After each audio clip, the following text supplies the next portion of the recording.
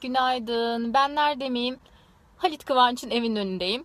Halit abiyi bekliyorum. Neden bekliyorum? Halit Kıvanç bir Pertemniyal Lisesi mezunu. Ben de bir Pertemniyal Lisesi mezunuyum. Pertemniyal Lisesi'nden Yetişenler Derneği Yönetim Kurulu Başkan Yardımcısıyım. Bu sene Pertemniyal'in geleneksel pilav ve aşure gününü bizler organize ediyoruz.